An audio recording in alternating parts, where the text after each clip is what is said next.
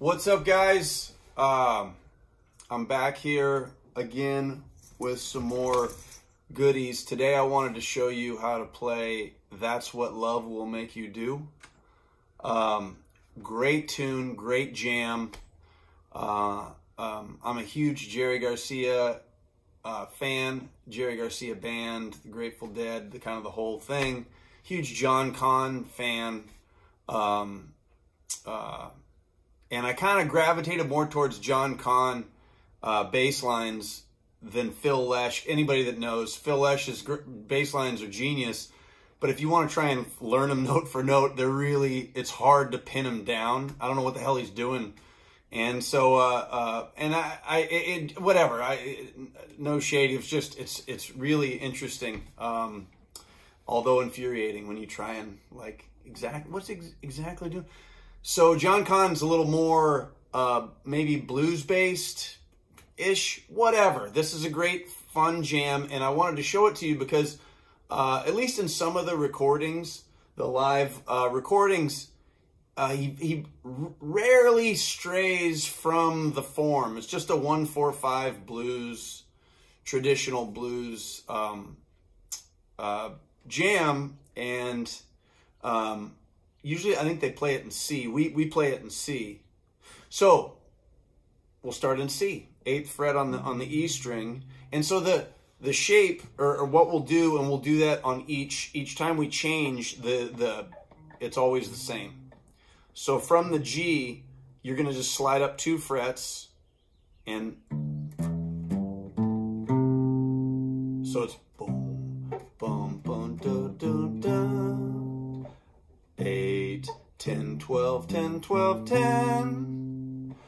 And then, and then that's the first part. Boom, boom, boom, boom, boom, 10, 8, 7, 10, 8, 10. Uh,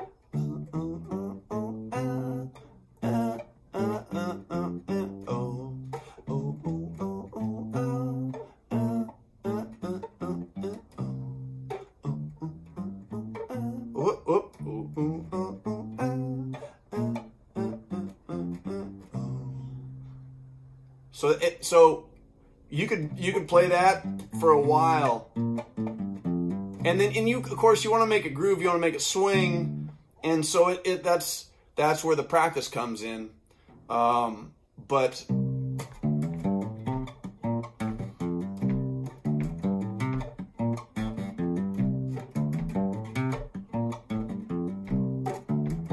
and then we'll come down to the four G,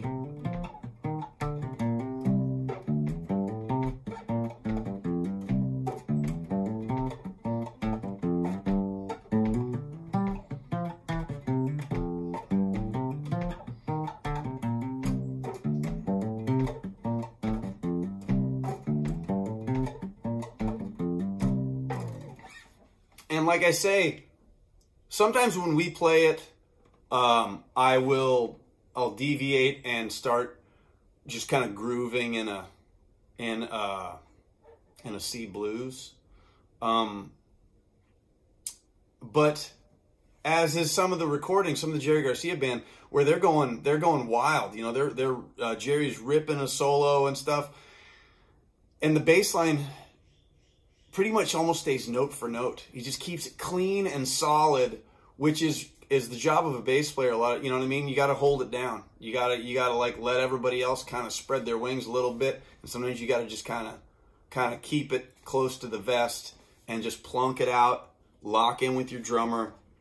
So so once you learn that though, and that's why I wanted to show that because this is kind of an easy one and it's a great jam if you haven't uh, listen just just look it up on YouTube or wherever um, uh, any of the that's what love will make you do uh, jams are, are, just are really fun. And it's a good workout, uh, especially if you're a beginner, if you're kind of new. If you can kind of get your, if you can, if you can get used to that, that little pattern, and then do the one four five and stuff. By the time you're done playing this, you.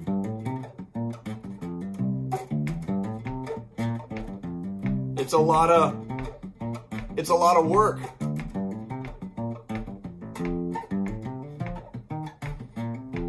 But it's a good yeah, and I, I would call this a, a workout uh, tune.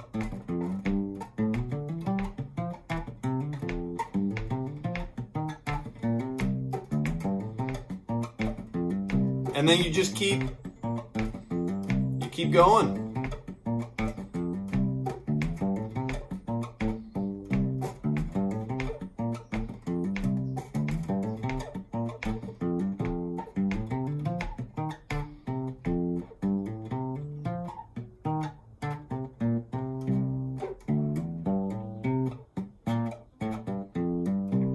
And sometimes I'll use some dead notes.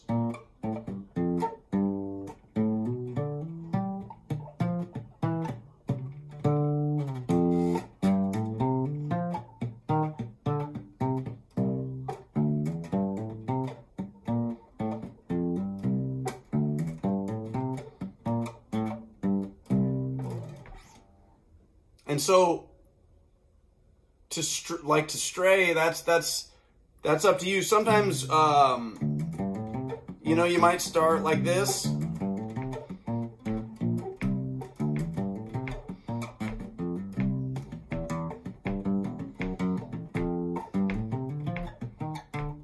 You can play around with it and kind of use this as your as your your safe spot.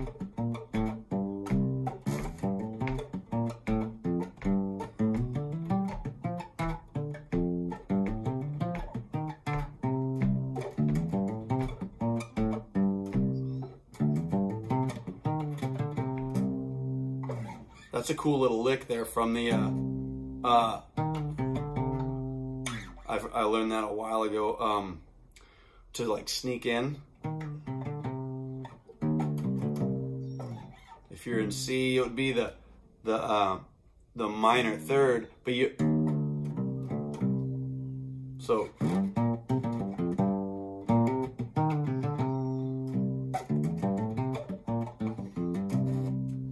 Anyways, less less deviating. I really just wanted to show you that form, and then um, uh, yeah, throw on the track and and just play along with it. And I'm, I'm, telling you, the song's maybe five or six minutes long or whatever. Five five or six minutes of this, especially if you don't play every day or if you're if you're you're learning or you're you know what I mean or you're coming coming out of a, a dry spell or whatever.